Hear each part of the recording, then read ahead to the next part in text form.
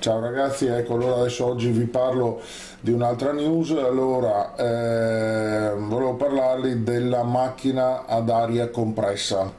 Allora, verso la fine del 1900, mh, mm, eh, proprio a, a, cavallo tra il 1900 e il 2000, eh, un, uh, un ingegnere Guy Negret francese che ha collaborato eh, con della squadra, moto, squadra di Formula 1 eh, della Renault, cosa succede? Che eh, lui è ingegnere motoristico, ha sviluppato per conto suo che cosa? Un, ehm, un motore che funziona ad aria compressa. Eh, voi direte ma com'è possibile? È possibilissimo, non c'è niente da meravigliarsi provate a pensare un attimo il, ehm, lo scopo no, de, di qualsiasi combustibile, qual è?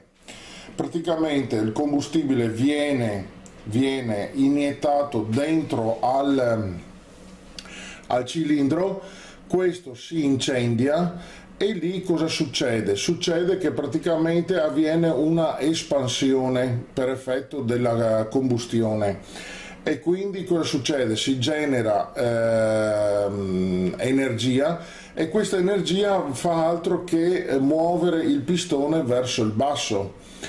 Eh, ora, cosa succede? Che se noi questa eh, energia la sostituiamo con che cosa?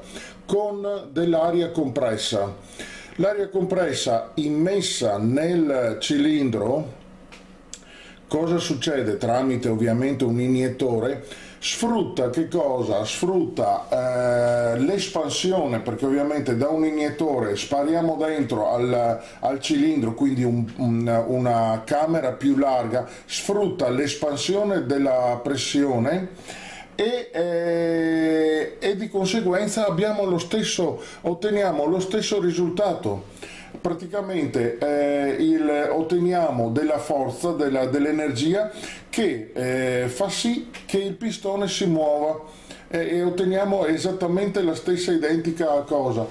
Il problema, il problema, qual è? Non è tanto il motore perché eh, addirittura inizialmente l'ingegnere aveva fondato una sua, eh, eh, una sua mh, mm, eh, casa, diciamo una sua officina, una sua cosa, però purtroppo non è eh, andata molto bene però il brevetto eh, l'ha eh, preso praticamente la casa mm, automobilistica Tata che crede in questo, ehm, eh, in questo sistema insomma ecco.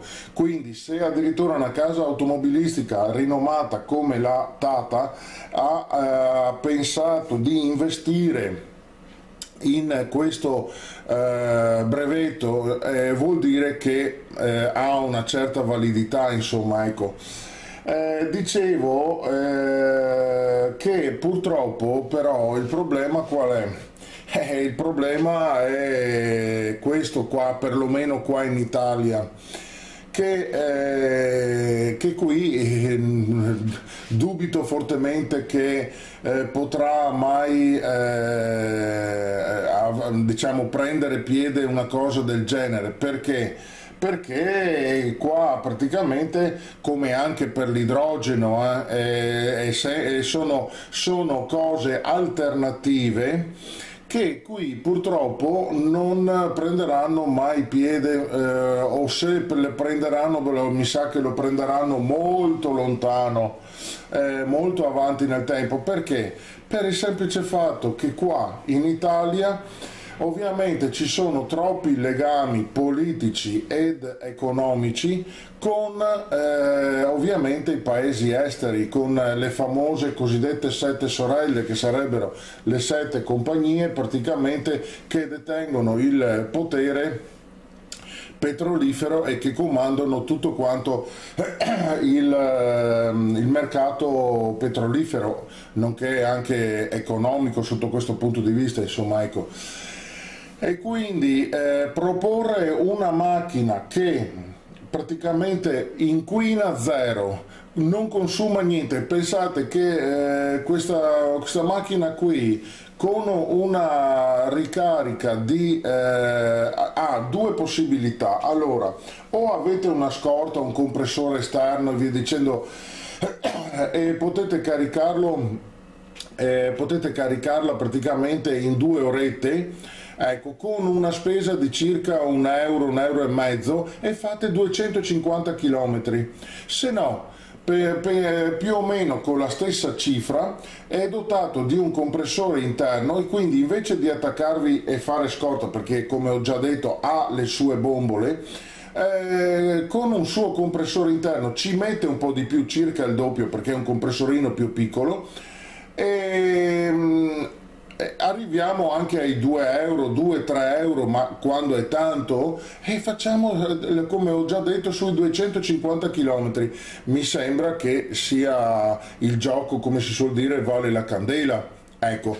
E, e, ripeto impatto ambientale zero perché viene fuori aria pulita ecco quindi eh, non, um, con questo cosa devo altro dire? Nulla, solo che speriamo perché anche le macchine elettriche, sì d'accordo, ma dopo ci sono le batterie, le batterie, smaltimento e via dicendo, questo quest'altro. per me le alternative più valide a livello impatto ambientale sono questa ad aria, oppure l'idrogeno che però lì vabbè c'è, anche un discorso di pericolosità e via dicendo. Però eh, eh, diciamo le prime adesso al giorno d'oggi hanno fatto delle innovazioni che veramente lo controllano molto bene insomma ecco. Comunque senza discostarsi da quello che è la notizia diciamo eh, al giorno d'oggi se uno vuole se, se va sul sito della Tata Automobili e fra i vari eh, modelli può trovare anche, quello, eh, anche quelli ad aria perché la Tata ha ehm, eh, acquisito praticamente i diritti eh, di, queste, di, questa macchina qua insomma ecco di questo marchio qua tutto qui ragazzi. Ciao alla prossima